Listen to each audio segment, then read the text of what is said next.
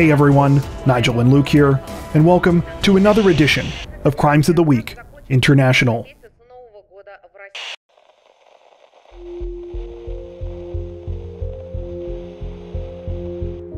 Representatives from the police service of Northern Ireland say that a couple of their officers were left speechless this week after they drove home an intoxicated woman, only to discover minutes later that she had gotten behind the wheel almost immediately afterwards and caused a crash. The whole thing began sometime in the early morning hours of June 2nd, when the PSNI officers in question were on patrol in the town of Portadown. They were driving along when they spotted a woman who was clearly drunk and walking alone. Concerned for her safety, they offered her a ride home, making sure that she got into her house before heading back out. It seemed like a job well done until about 15 minutes later, when the officers were called about a vehicle collision in the same area. When they arrived at the scene, they were stunned to find the same woman that they had just dropped off slumped over the wheel of a white BMW. Evidently, after being dropped at home, the woman had decided to go out for a late night drive and had almost immediately slammed into another car.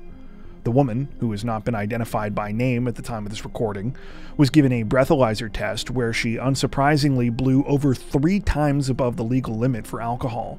Thankfully, no one was hurt as a result of the crash, though the woman was arrested and is now awaiting charges. In a post to social media this week, PSNI representatives wrote in part, quote, We cannot stress the message enough. Never ever drink and drive, or this could be the consequences of your actions. If you ever find yourself in a position where you are considering getting behind the wheel of a car after a few drinks, think about this. Could you live with the guilt if you seriously hurt or kill someone else using the road?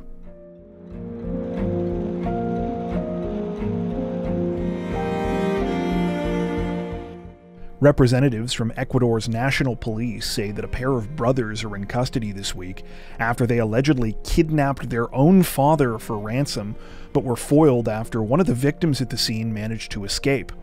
The whole thing took place sometime on the afternoon of June 1st, when the father in question, identified as Victor Manuel M., was at his livestock farm in the town of Las Moras, about hundred miles north of the port city of Guayaquil. The man, who was in his 80s, was preparing to have lunch with his nephew Robin and a worker identified as Jeremy B. when suddenly things took a startling turn. The men were ambushed by five armed attackers wearing hoods who threatened them and told them to get down on the ground. Initially, the victims complied, but taking advantage of the confusion while the culprits began tying them up, Robin managed to slip away into some bushes on the property. He remained hidden there until a police patrol car passed by, at which point he alerted officers about what was going on. When police pulled up to the property, they were reportedly met by three men. Those men have since been identified as Victor's two sons, Daniel and Victor Jr., as well as their childhood friend, Jonathan Joel B. The men apparently told officers that nothing was wrong, and when questioned about the location of Daniel and Victor Jr.'s father, said that he had been put in a nursing home However, as police started to look around a bit, they found evidence backing up what Robin had told them. This reportedly included a truck that the men had been driving that had concealed license plates on it, as well as a damaged video camera on the property. During further searches, officers found Victor and Jeremy, who had been tied up and were being kept in a warehouse on the property. Upon being rescued, Victor immediately identified his two sons as being responsible for what had happened to him. He said that they had kidnapped him and were planning to demand a $10,000 US ransom for his release. Daniel, Victor Jr., and Jonathan were all arrested and currently remain in custody. It's unclear if police have yet found their additional alleged accomplices or if they are still searching for them at this time.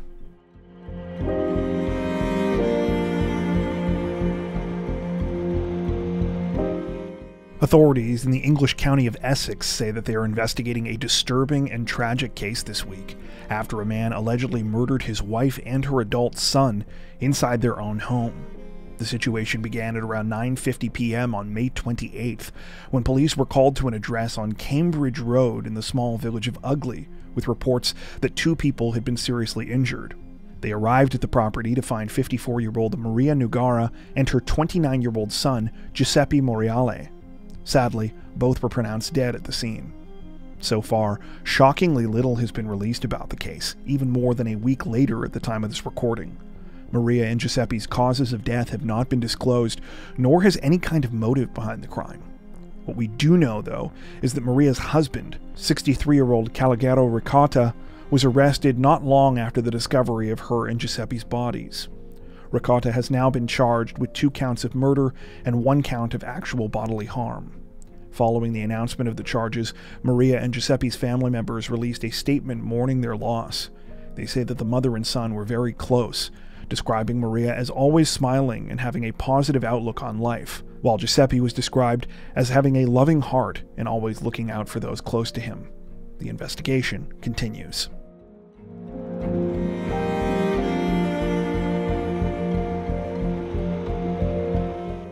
Authorities in Western Australia say that a man has been charged in connection with a horrifying case of domestic violence this week after he allegedly murdered his own mother in a brutal attack that not only left a quiet neighborhood shaken, but was apparently also witnessed by a young girl. According to reports, the awful crime unfolded just after 7 p.m. on June 2nd, when police began receiving triple zero emergency calls from residents in the Perth suburb of Byford. Multiple people said that they had heard a woman screaming on Gallipoli Avenue, with one caller stating that they had been alerted by a 12 year old girl who told them that the woman was under attack and that the situation had started in a nearby residence she had been in. When officers arrived, they found the victim, later identified as 61 year old Yvette Verney, lying outside of a residence there. Sadly, she was quickly pronounced dead. Disturbingly, blood evidence was reportedly recovered from multiple properties, showing how Yvette had run from her home on Larimar Parade while desperately trying to get help.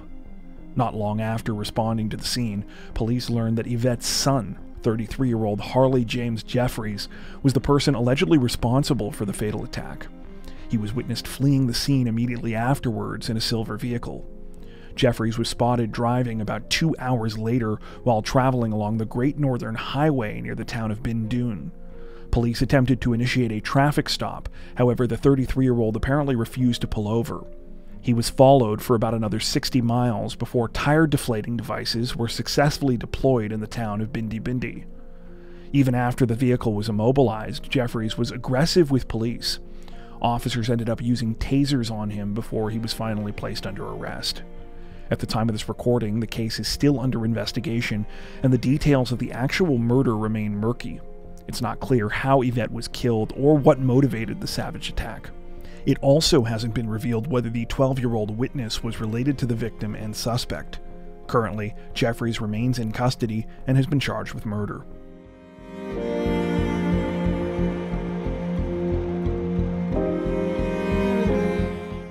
Authorities in the Chinese city of Shanghai say that they were able to solve a burglary case in record time recently after the alleged culprit made the bizarre choice to leave behind a note at the crime scene that included his contact information. According to reports, the whole thing started sometime on the morning of May 17th when employees at a building in the city's Pudong New area arrived at work to find that they had been the victims of a crime. Someone had broken into their offices, and some equipment as well as other items was clearly missing. When police were called to the scene, things quickly took a strange turn when they found a notebook that didn't belong to any of the workers. It had been left on a desk with several computers stacked on top of it. Upon looking in the notebook, officers were met with quite the surprise. Inside was a message that had been left behind by the perpetrator. It read in part, quote, Hello, boss. You need to improve your security. The culprit had gone on to write that they had stolen a watch, a computer, and other valuables. However, they claimed that they only really wanted cash and were willing to give the items back for the right price. At the bottom of the letter was a number to call in case the victims were interested. Apparently, the burglar really didn't think this through, though, because it seems he used his actual number, not a burner phone. Using this, as well as surveillance footage from the crime scene that allegedly showed the suspect scaling a wall on the property, police were able to identify him as a man by the last name of Sang. Sang was arrested that same day by 2:30 p.m. All of the stolen items were recovered, and Sang now remains in custody on suspicion of theft.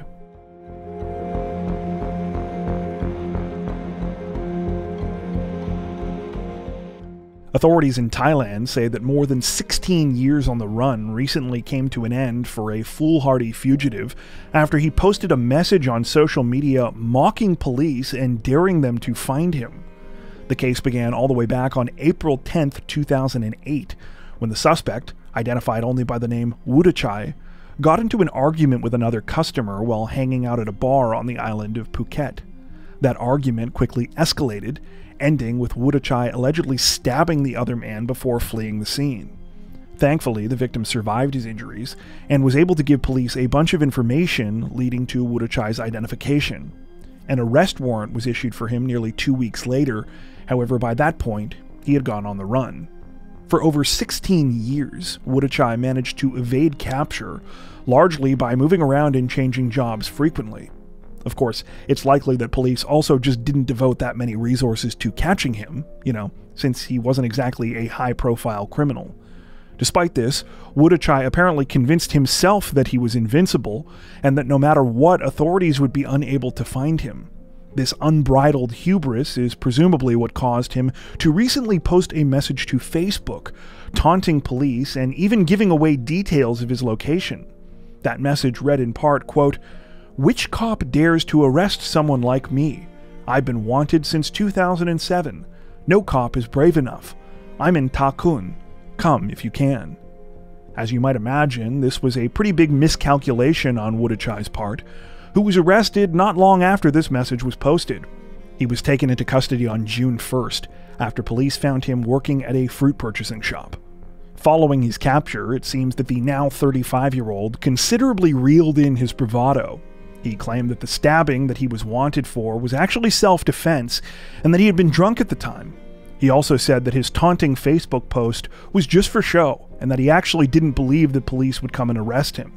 At the time of this recording, Wudachai is awaiting extradition back to Phuket, where he will face formal charges.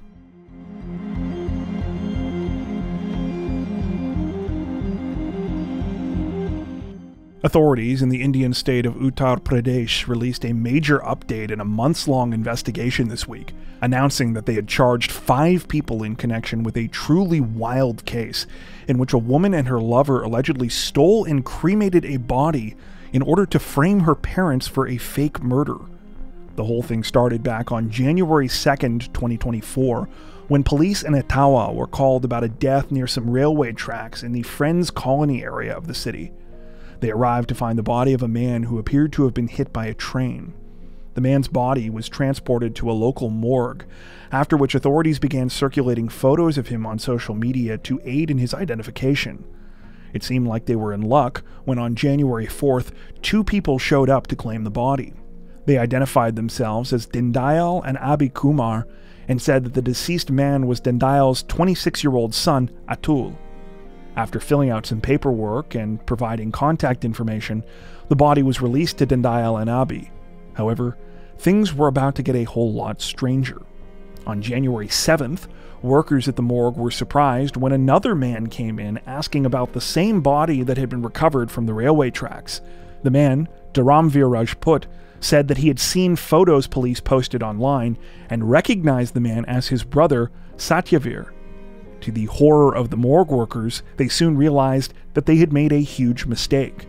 It turned out that the body really was Satyavir's.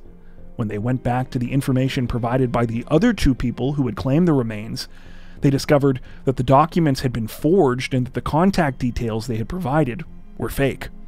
Using CCTV footage and other undisclosed evidence, police were ultimately led to five people in connection with the stolen remains.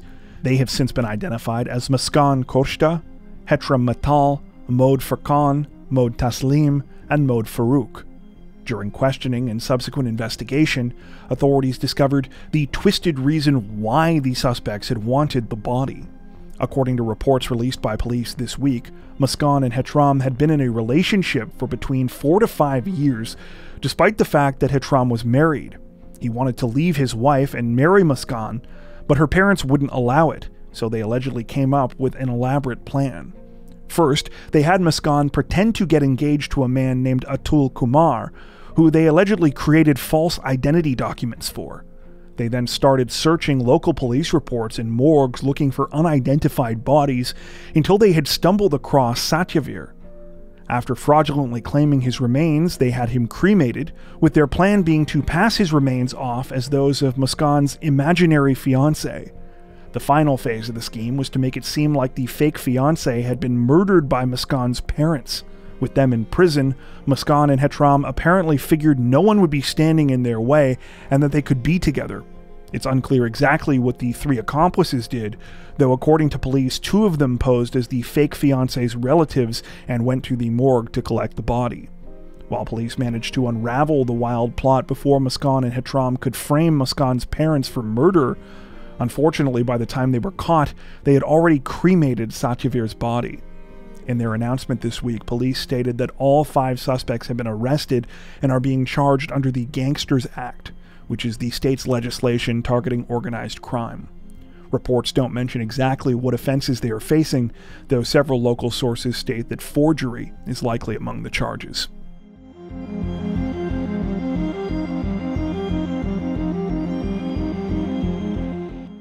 Authorities in the Brazilian city of Rio de Janeiro say that they are on the hunt for a woman this week after she allegedly planned and carried out the murder of her boyfriend, whose body was found under disturbing circumstances late last month. The whole thing began on May 20th when police were called by several tenants of an apartment complex in Rio's Engenho Novo neighborhood. Residents were complaining of a foul odor that seemed to be emanating from a particular unit inside the building. When officers arrived, they quickly discovered the awful reason behind the stench. Upon entering the unit, they found a man's body in an advanced state of decomposition. The body was wrapped in sheets and blankets and had been left on a living room couch. The man was quickly identified as the resident of the apartment, businessman Luis Marcelo Antonio Ormond. It was immediately clear to police that whoever had left Luis like this had wanted his body to remain undiscovered for as long as possible. Two fans had been placed close to the remains and were on full blast pointing towards an open window in an obvious attempt to cover up the smell. Using other evidence found at the crime scene, authorities began to come up with a theory as to what had happened. There were empty packets of a morphine based drug in the apartment, and it looked like Luis had sustained a blow to the head. Detectives therefore speculated that the businessman had been poisoned and that the head wound might have been inflicted once he was incapacitated. Even more chilling evidence was uncovered when authorities took a look at surveillance video in the apartment complex, particularly footage that had been recorded in the building's elevators. The footage led them to their prime suspect, Luis's girlfriend, Julia Andrade Carmo Pimenta. When Julia was brought in for an interview on May 22nd, she claimed to know nothing about Luis's death. Though she had been living with him at his apartment for the previous month, she stated that she had left sometime early on May 20th after she and Luis had an argument the night before. She stated that when she left, Luis seemed fine. Of course, based on the state of decomposition Luis's body was found in, investigators knew this couldn't be true. He had to have been dead for at least several days before his remains were discovered. From reviewing the surveillance footage at the apartment building, police knew that Luis was last seen alive on May 17th, in a video of him taken in the elevator that day, he is accompanied by Julia. At first, the footage looks fairly innocuous. The couple exchange a small kiss at one point, Luis can be seen eating a chocolate, and they seem to be in conversation.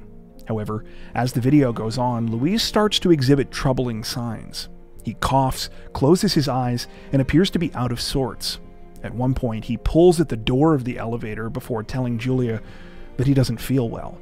While this was the last time that Luis was captured on video, Julia could be seen on the building surveillance cameras for three or four days afterwards, going on with her life as if nothing had happened. During their conversation with her, police found Julia to be remarkably unconcerned about her boyfriend's death. She laughed and smiled throughout the interview and didn't appear at all troubled about what had happened. Unfortunately, though, at this point, authorities felt they didn't have enough specific evidence against her, so they were forced to let her go. That changed just a short time later when investigators received the results of Luis's autopsy. Traces of chocolate had been found in his system, along with the morphine based drug found in his apartment. Police concluded that Julia had poisoned the chocolate and given it to Luis, then had finished him off after they made it back inside the apartment. An arrest warrant was obtained for Julia, however, by that point she had disappeared. The case took another turn when police were able to track down Luis's car, computer, and several other personal items which were missing from his residence. They were reportedly in the possession of a woman named Suyany Breschak. After being arrested, Suyany told police that she was Julia's spiritual mentor and that she had been coming to her regularly for years. In fact, Suyany said that Julia had so frequently sought her services that she had racked up a debt equivalent to over $110,000 US. On top of this, Julia was also giving her so called mentor the equivalent of about $1,000 USD a month. Suyany claimed that she had been given Luis's car and other personal items to help pay off part of that debt. Police, however, now say that they believe Suyany was just as involved in Luis's murder as Julia was, and that the women planned the crime together. Believe it or not, the whole thing still gets crazier from here. Apparently, police suspect that Julia was never in a legitimate relationship with Luis, and that she had picked him out as a mark from the very beginning to steal his money and assets. According to some local news sources, after moving in with Luis, she had almost immediately started pressuring him to get married and wanted him to put her name as the beneficiary for funds from a land sale deal he had recently made. This was all while Julia apparently had another boyfriend and was also working as an escort on the side. Neither of the boyfriends apparently knew about each other or her escort work. At the time of this recording, Julia remains on the run, though police say that they think she might be hiding out somewhere in Rio de Janeiro's Lagos region. The situation is still developing. Before we wrap up, we'd like to take a second to give a huge shout out to everyone who has made it this far into the video. Seriously, thank you so much for watching. If you found today's upload interesting and informative, we'd be honored if you consider liking and subscribing, as well as hitting the notification bell and selecting all notifications to stay up to date with our latest releases. If you're looking for additional ways to help support the channel, we'd love to have you join us over on Patreon. Patrons get ad free and early access to all of our content, as well as four additional stories per week for each of our Crimes of the Week and Crimes of the Week International videos. You can learn more at patreon.com slash crimezone, where you'll also find some of the fine folks whose names are currently on screen. All that being said, we understand that not everyone has the means to support financially, and that's totally okay. We appreciate every like, sub, share, and comment that you send our way. Once again, thanks so much, everyone, and take care.